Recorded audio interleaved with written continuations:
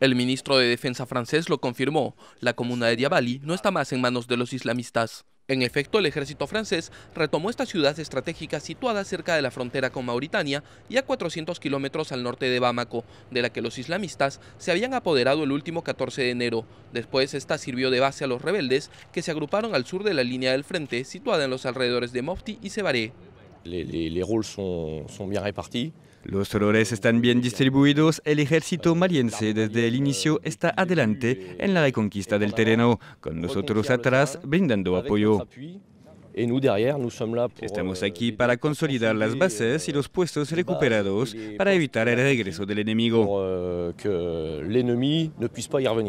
Perseguidos, los islamistas intentan mezclarse con la población. Según los habitantes de las ciudades ocupadas, varios de ellos abandonaron sus vehículos y rasuraron sus barbas.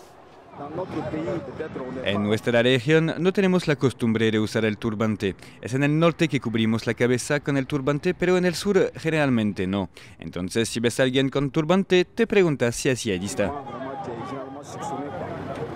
Francia afirma que su objetivo es la reconquista total de Mali, una misión en la que sería apoyada por nuevos refuerzos. Para esto, varios países de África preparan sus fuerzas, que serían desplegadas el 26 de enero. Alemania, que había permanecido silenciosa, anunció el envío de dos aviones de transporte y prometió ayudar financieramente a los países africanos.